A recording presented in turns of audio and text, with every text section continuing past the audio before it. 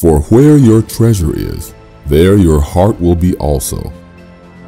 The kingdom of heaven is like treasure hidden in a field. The Bible talks a lot about treasure.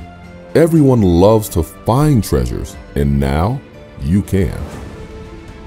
In Treasure Hunt of the Bible, we will be digging into the Holy Bible and uncovering the mysteries of God.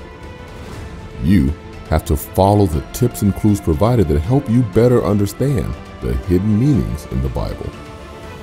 With great mysteries to be solved and questions to be answered, it's all up to you.